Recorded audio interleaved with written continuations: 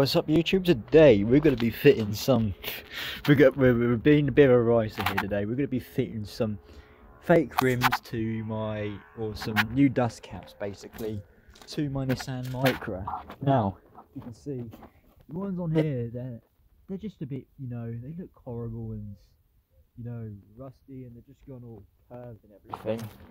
So, I'm going to put some nice new ones on today they look a bit like rims, but they're actually not.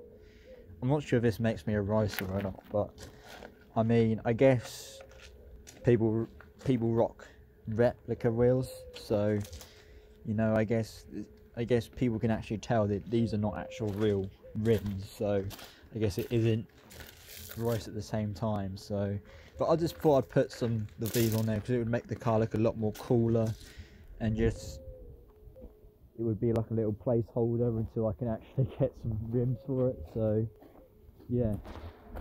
So, I've never actually taken these off before. I think it's a very basic, it's actually probably not basic, it's actually raining, but it actually feels, sorry, it's fired.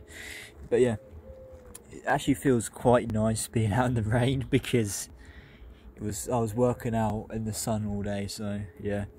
Okay, so that was a real fight to get off, as you can see.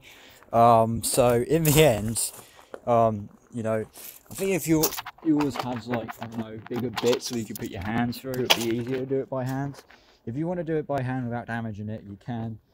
But this wheel is this wheel trim's already damaged, so we're just gonna bring out the new ones from the box. So yeah, we're gonna see how this all goes together. So whether that fucking snapped or not, if it's just terribly welded, that is absolutely terrible. But I don't know what this bit is for. I imagine this is a bit clips it in. I don't know whether that's meant to be on something. I don't know, but it, it just seemed to fit fine. So yeah, hopefully just does not fall off with that crack in there. I mean, it looks like it's all welded and pieced together. So yeah.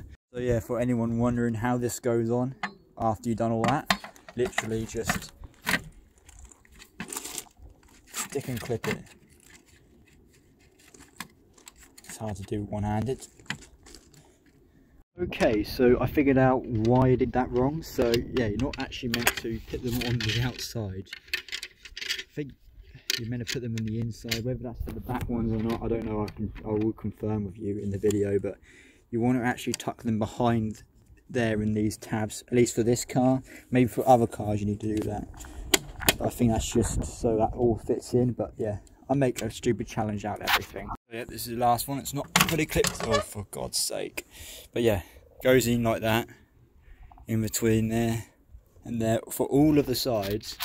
So that's both the rear ones and the front ones so yeah I don't know how I got modelled up on that but there's also a little hole right here for you to fit your little um, pump thing. So whatever you call it, your valve pump air in. But yeah, you just make sure like that's over that, so you know you can easily pump it up. I guess guys, it doesn't really matter.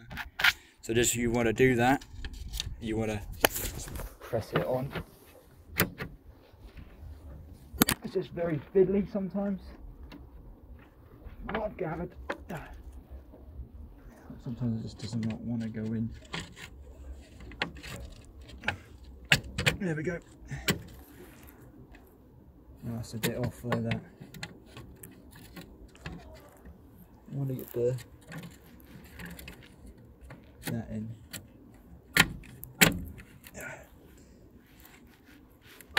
So yeah, you just want to fully press it in. Yep, that's all in. And that's just make sure it's all clipped in. We're going to just test out that on all of the sides. But yeah, that is on there. That's not going to come off, I don't think at least. So yeah, these are basically the old ones.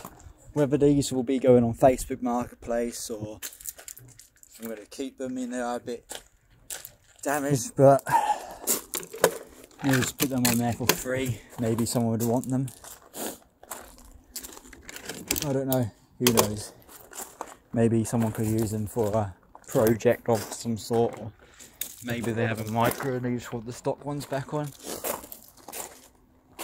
Or maybe they just want to use it to create something with, I don't know.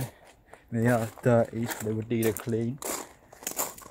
No, this is how these are very mucky. Not hands are absolutely filthy, but to be honest, on camera they actually do look real. Um, but when you come up to them on per on, in person, you can see they're definitely not real. But yeah, you can sort of see all the holes in there, and they also just bulge out a bit.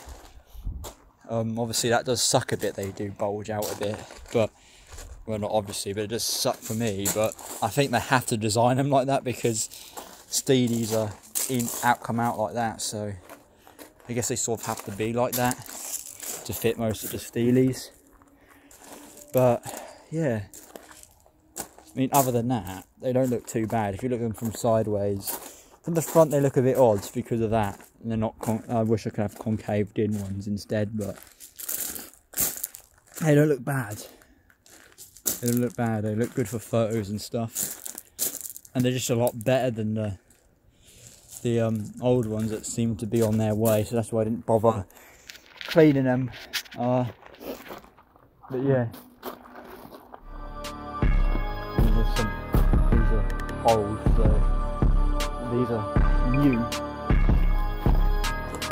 Fuck up, that boy a bimbo. Getting low, they playing limbo. Tried to slice me, I went Kimbo. Op hoes get turned to widows. He was stretching shit for shit show. Now he riding in a limo. I'm the fiddler on the roof, I'm sending 50 out the window. I used to work at five below, but now I keep that.